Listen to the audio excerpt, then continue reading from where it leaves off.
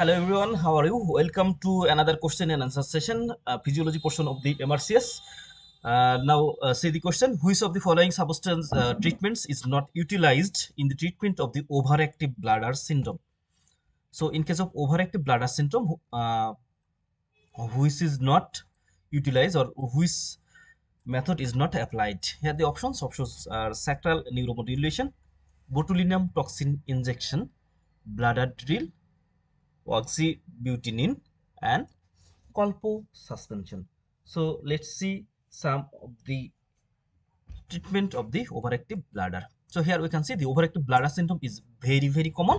Actually it's uh, common after the traffic accident after the major trauma or major surgery even uh, from the uh, physical disabilities uh, like the stroke or other conditions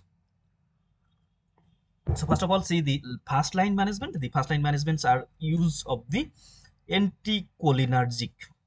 So first of all we have to use the anticholinergic agent that prevents the action of the cholinergic substances. Bladder drill whereby voiding is deeper. So sometimes bladder drill may be done.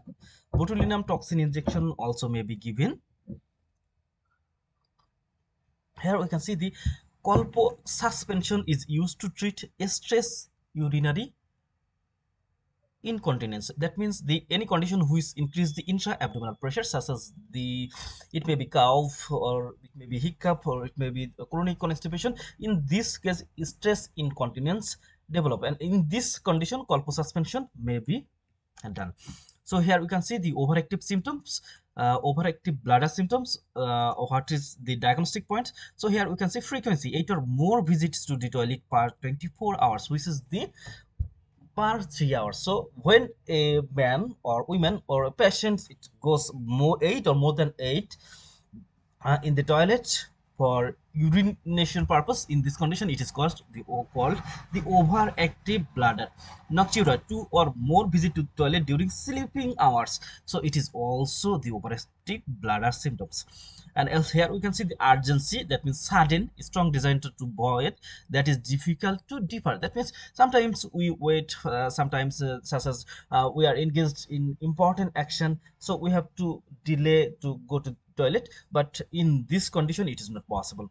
And adds on incontinence that means a sudden and involuntary loss of the urine. So these are the symptoms of the overactive bladder. So here we can see the urgency. When i want to go i have to rush because i think i may wait myself. So here we can see the definitive picture of urgency and the bladder anatomy or physiology here you can see this is the bladder and different type of the supply. Among them sympathetic nervous system or sympathetic nerve supply parasympathetic nerve supply and somatic nerve supply. So here we can see the sympathetic nerve supply. It gives our time. It uh, gives more and more storage if when we urgent the sympathetic nerve system it activated and it gives some time to us to for prevention of go to the toilet. And the sympathetic nervous system it causes the distension of the urinary bladder and the storage of the urine. On the other hand the parasympathetic nerve supply sacral 2 sacral 3 and sacral 4 it causes the contraction of the detrusor muscle or contraction of the bladder and urination. And the pudendal nerve which is s2 s3 and s4 it is responsible for voluntary control of our urethral sphincter uh, when we wish then this pudendal nerve acts and finally urination occurs. And colpo suspension here we can see this is the colpo suspension. Colpo suspension is a operation to uh, treat the stress urinary incontinence in case of women. Where the bladder neck is elevated. And the reposition using the abdominal sutures and finally usually placed by a cut in the lower abdomen. So here you can see the all options such as the sacral neuromodulation botulinum toxin injection bladder drill oxybutynin all are treatment of the overactive bladder. Only the colpo suspension it used for stress incontinence of the bladder.